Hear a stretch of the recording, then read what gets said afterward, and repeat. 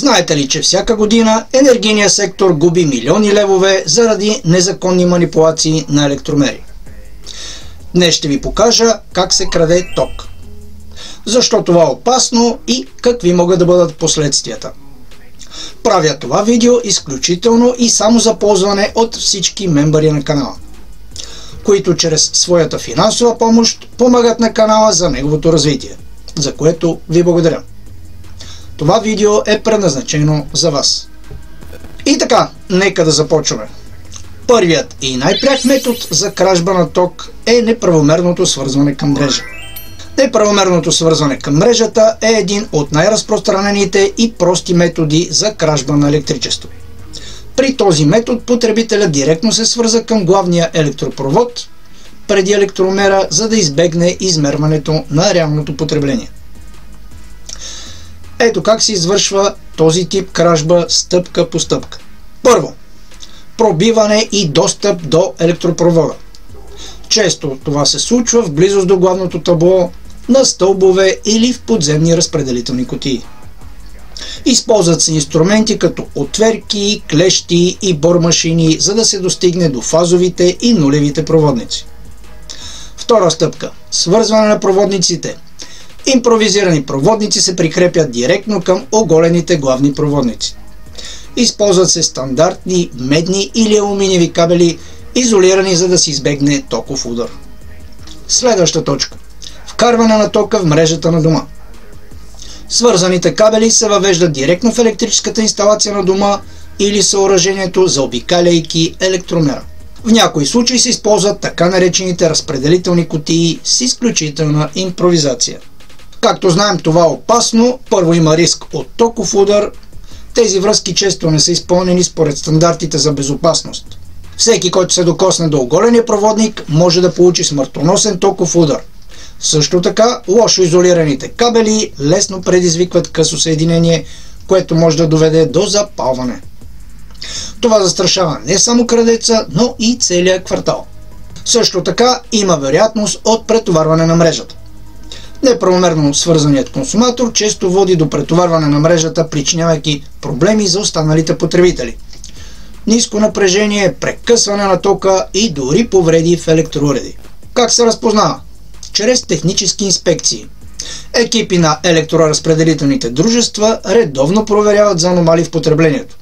Често се използват термокамери за идентифициране на горещи точки, където незаконните връзки генерират топлина ниско напрежение в района. Необичайно ниското напрежение за други потребители може да е индикатор за неправомерна връзка. Също така сигнали от съседи. Хората, които забележат кабели свързани неправомерно към електропровода или табла, често сигнализират на властите. Какви може да са законовите последствия? Неправомерното свързване е престъпление и се наказва с големи глоби или затвор до няколко години в зависимост от размера на щетите и прекъсване на електрозахранването за дълъг период. Друг начин за кражба на ток това е манипулирането на електромера. Манипулирането на електромера включва умишлени действия за изкривяване на реалното потребление, записвано от устройството. Това се прави чрез физически, механични или електронни намеси в устройството за манипулиране. Използване на магнит. Как се прави? Поставя се силен магнит върху електромера, за да забави превъртането на измервателния механизъм. При по-старите модели с дискове, постоянно въздействие на магнит може да повреди самото устройство, което е лесно откриваемо при проверка. Друг метод е прекъсване на пломбите и намеса във вътрешността. Как се прави? Пломбите се отстраняват с финни инструменти, а след това се модифицира вътрешния механизъм, за да се отчита по-малко електричество. В някои случаи пломбите се заменят с фалшиви. Рискове Пломбите са уникални за всяко електроразпределително дружество и подправенето им е лесно за откриване. Друг метод за манипулация на електромерите това е софтуерната манипулация. Как се прави? При по-новите електронни електромери се използва специален софтуер или устройства за пренастройка на отчитащите параметри. Тези действия изискват достъп до вътрешната памет на електромера. Рискове Софтуерните манипулации оставят електронни следи, които лесно се идентифицират при проверка. Друг начин за манипулация това е паралелна връзка с електромера. Как се прави? Някои хора свързват допълнителен проводник вътре в електромера, така че само част от потреблението да се отчита. Рискове. Лесно забележимо при техническа проверка. Друг начин за манипулация това е изкуственото заземяване. Как се прави? Използва се метод, при който се създава байпас за част от електричеството чрез заземяване. Това намалява количеството, което преминава през измервателния механизъм. Рискове Опасно за цялата инсталация и често води до къси съединения. И така, в най-общи линии, защо манипулирането на електромера е опасно? Манипулациите често изискват работа под напрежение, което може да доведе до токов удар. Повреден електромер може да предизвика прегряване или пожар. Правните последствия са доста големи. Енергийните дружества разполагат с юридически права да санкционират нарушителите с сериозни глоби. Ако манипулацията доведе до повреди в мрежата или инциденти, виновникът може да бъде изправен пред съд. Така, как се разпознава манипулацията на електромера? Редовни проверки от специалисти, например екипи от енергийните дружества проверяват състоянието на помбите. Неправомерни вътрешни връзки, признаци на механична или софтуерна намеса. Новите електромери разполагат с градени алармени системи, които регистрират аномалии – данни за прекъсвания, които сигнализират за аномалии. Също така, необичайно ниското потребление е сигнал. Внезапното намаление на сметките може да предизвика подозрение. Следващия начин за кражба на ток, това е директно за обикаляне на електромера. Тази точка разглежда един от най-честите и груби методи за кражба на електричество. Ще обясня как се извършва, какви са последствията и как се открива. Първо, какво представлява директното заобикаляне на електромера? При този метод крадецът изгражда допълнителна връзка, която пренасочва електричеството директно от входящия кабел към вътрешната инсталация на обекта, без тока да преминава през електромера. Това означава, че цялото или част от потреблението остава нерегистрирано. Как се извършва? Изграждане на байпас.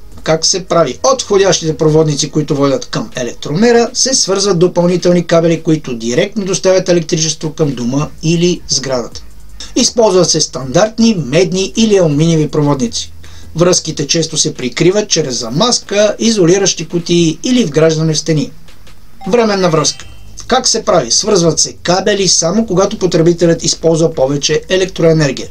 Например, при работа на енергийно интензивни уреди, бойлер, климатик, след това връзката се премахва, за да не бъде открита при проверка. Скрито заобикаляне чрез подземни или въздушни линии. Как се прави? Някои хора прекарват допълнителни кабели под земята или през външни стълбове, за да скрият незаконната връзка. Тази практика е по-сложна и изисква опит с електрическата инсталация. Защо е опасно?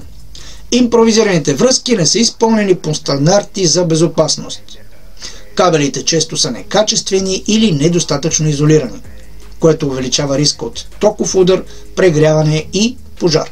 Претоварване на мрежата.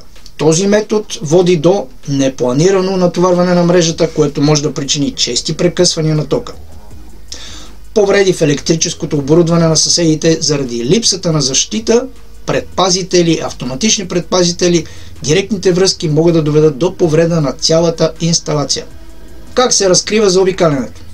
Инспектори проверяват дали пломбите на електромера са непокътнати и дали всички входящи кабели преминават през него. Понякога се използват термокамери за откриване на горещи точки от незаконни връзки. Не е нормално ниска сметка спрямо типичното потребление за дадено домакинство или обект предизвиква проверки. Някои случаи съседи сигнализират за подозрителни дейности, например видими кабели или чести прекъсвания на електричеството.